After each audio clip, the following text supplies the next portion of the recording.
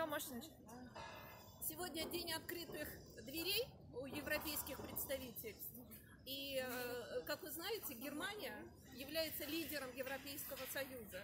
И госпожа Меркель неоднократно встречалась с Атамбаевым. Поэтому давали полностью добро в составе европейской делегации э, Европе- э, Европейского Союза на выдачу грантов в области избирательного права, на реформу судебных органов, Генеральной прокуратуре и так далее. Но тем не менее, в результате всей этой европейской помощи мы получили э, 25 политических заключенных.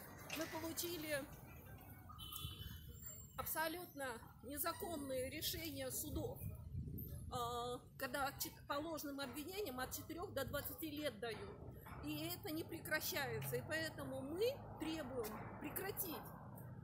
выдачу вызов, э, визам в Европу всем э, э, преследователям наших политических заключенных, начиная с Сигизбаева, главы ГКНБ, Джалдубаева, Генеральной прокуратуры, и Карпекова из главы ОТРК, и по, другу- по всех остальных по списку Акунова.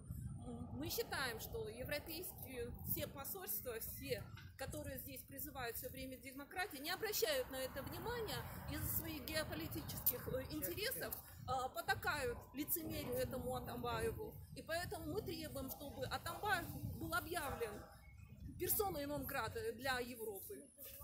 Buna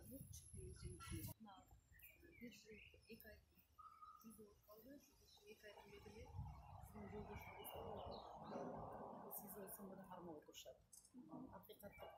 escola, biz жоқ болса мүшеммен келіп немецкий посольствоға анан